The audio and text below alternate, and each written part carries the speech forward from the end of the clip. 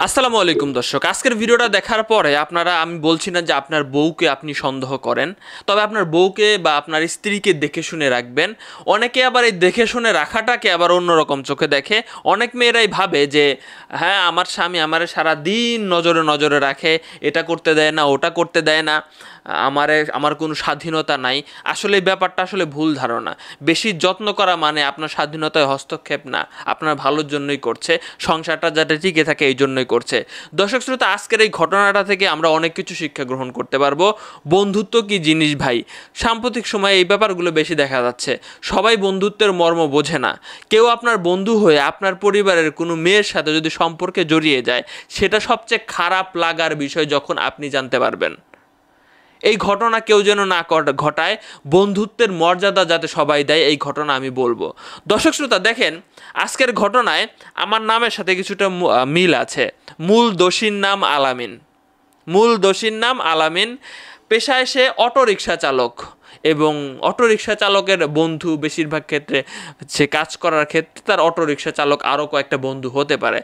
তেমনই আরেকজন হচ্ছে ইমন। সে অটোরিকশা চালায়। তাদের দুজনের মধ্যে বেশ ভালো বন্ধুত্ব তৈরি হয়। তো বন্ধুত্বর খাতিরে ইমন মাঝে মধ্যে আলামিনের বাসায় যাতায়াত করত এবং যাতায়াতটা এতটাই বেড়ে গেছে তো সেই বেড়ে যাওয়ার ফলশ্রুতিতে আলামিনের স্ত্রীর সাথে তার পরকীয় মানে তারা জড়ায় যায়, দুজনের মধ্যে প্রেম শুরু হয়ে যায়। তাহলে আপনি বন্ধুত্ব করলেন, বন্ধুরে বাসায় নিয়ে আসলেন, নিয়ে আসার পরে আপনার বউয়ের সাথেই সে পরকীয় লিপ্ত হয়ে গেল। এমন বন্ধুরা আগে কি করতে চান? কমেন্ট বক্সে লিখেন। আগে লিখেন। তো যাই হোক, ব্যাপারটা যখন ও বুঝতে পারছে, তখন কিন্তু সে কিছু করে নাই ভাই। সে মনে মনে জাস্ট প্ল্যান করতেছে যে ইমনকে কীভাবে দুনিয়া থেকে সরায় দেওয়া যায়। বন্ধু হয়ে বন্ধুকে এই দুনিয়া থেকে সরায় দেওয়ার প্ল্যান করছে। এখানে তার বউকে সে কিছু বলে নাই এটা আবার অন্যরকম লাগল বা এই বিষয়ে আমার কোনো নিউজ আসে নাই।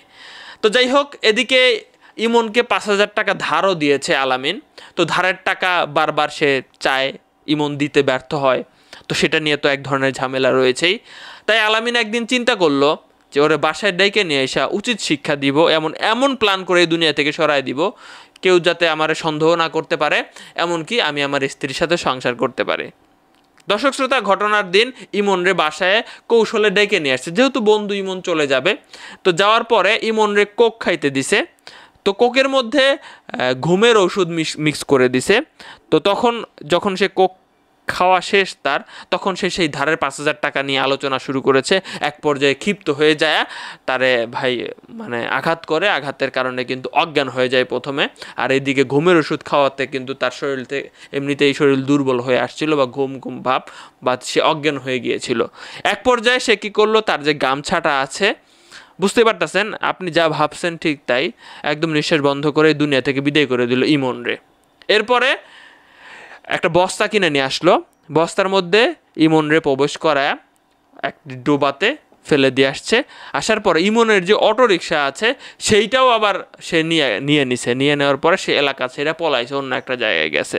তো পুলিশ তো বা ডিবি পুলিশ এটা তদন্ত করে যখন জিডি হয়, তখন খোঁজাখুঁজি করে এরকম একটা ইয়া পায় আর কি নালার মধ্যে। তখন এটা আসলে মামলাতে পরিণত হয়। আর মামলাতে পরিণত হইলেই মানে প্রশাসন কিন্তু খুব দ্রুতই এটা আসলে বের করে ফেলে। তো এই ঘটনা থেকে আমরা কি শিক্ষা গ্রহণ করলাম? মূল যে পয়েন্টটা আমি বলব, যে দেখেন, তার স্ত্রীর ভুল ভাই বন্ধুত্ব হতেই পারে। তার স্ত্রীরও ভুল আছে এবং তার বন্ধুরেরও ভুল আছে। আমাদের সমাজে অহরহ এরকম ঘটনা ঘটছে। তো বন্ধু নির্বাচনে আপনাকে সতর্ক হতে হবে। এমন বন্ধু ভাই বানানোর দরকার নাই যে আপনার বাড়ির মেয়েদের দিকে নজর দিবে, আপনার বউয়ের দিকে নজর দিবে, আপনার বোনের দিকে নজর দিবে। আপনি জানবেনই না, যেদিন জানবেন সেদিন প্রচণ্ড পরিমাণে কষ্ট পাবেন। তাই আবারও বলছি, বন্ধু নির্বাচনে সচেতন হবেন। আপনার মন হয়তো ফ্রেশ, আপনি কিছুই ভাবছেন না, কিন্তু আপনার, আপনাকে গোপন করে ওরা অনেক কিছুই করে। এরকম অনেক আছে ভাই। আমি মিথ্যা বলছি। তো যাই হোক, এই যে আলামিন এই কর্মকাণ্ডটা ঘটাইলো তো তার কী সাজা আশা করেন? কমেন্ট বক্সে লিখবেন। বাংলাদেশের আইনে অবশ্যই এটা শাস্তিযোগ্য অপরাধ। তবে কারোর আইন হাতে তুলে নেওয়া উচিত না। আসলে কি বলব? মানে এটা বেড়ে যাচ্ছে আস্তে আস্তে ভাই। মেয়েদের, এই যে এই মেয়েটা প্রশ্রয় না দিলে এই ঘটনা ঘটতো? মোটেও ঘটতো না।